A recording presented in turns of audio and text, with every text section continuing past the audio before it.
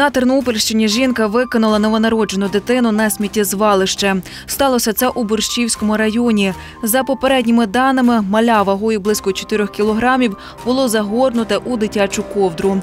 Працівники поліції вже з'ясовують деталі смерті дитини і звертаються за допомогою до місцевих мешканців з проханням встановити особу жінки, яка народила та викинула немовля. Правоохоронці припускають, що породілля могла звертатися за медичною допомогою до лікарів або фармацевтів. Якщо комусь відома інформація про жінок, які перебували на останніх місяцях вагітності або повернулися за кордону при надії, а зараз в післяродовому стані і дитина відсутня, повідомляйте за номерами на екрані. Анонімність гарантується.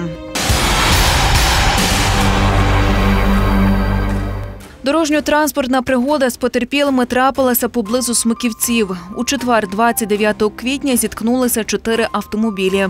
За попередньою інформацією, водій шкоди, який рухався з Тернополя на Хмельницький, увімкнувши лівий показчик повороту, зупинився перед маневром. Позаду нього їхав кермувальник вазу, який призупинив транспорт, та за ним не обрав безпечної дистанції автомобіль Форд, який врізався у машину.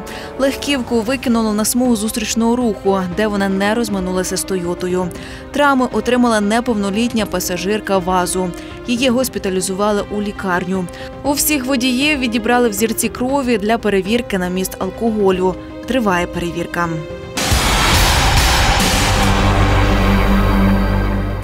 На Тернопільщині судитимуть посадовця лісового господарства. Чоловік підробив документи на деревину та отримав за це неправомірну вигоду у розмірі майже 23 тисячі гривень. Лісничого правоохоронці затримали під час отримання грошей. Обвинувальний акт обласна прокуратура скерувала до суду. На Тернопільщині працівники поліції спільно з рибоохоронним патрулем виявили двох браконьєрів. У них вилучили близько 150 рибин, сітки та саморобний дерев'яний човен. За попередньою інформацією, сума збитків майже 13 тисяч гривень. Коли чоловіки помітили людей у формі, почали тікати, проте одному з них не вдалося втекти. 30-літній чоловік у скоєному зізнався, іншого ще шукають.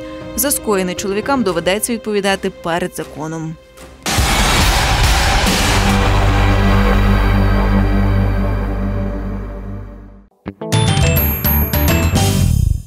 Фабрика ковальства.